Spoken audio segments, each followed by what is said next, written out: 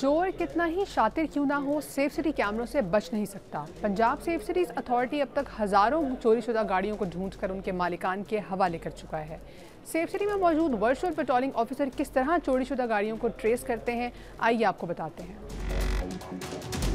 Punjab safe cities authority में कायम vehicle tracking centre black list गाड़ियों के डेटाबेस को मेंटेन करता है और जदीद टेक्नोलॉजी की मदद से जब भी कोई चोरी शुदा गाड़ी सेफ़ सिटी कैमरे के सामने से गुजरती है तो अलार्म जनरेट होता है, जिस पर सेफ़ सिटी ऑफिसर फौरी तौर पर फ़ील्ड फोर्स को गाड़ी के रूट के हवाले से गाइड करता है और गाड़ी को फौरी राउंड अप किया जाता है।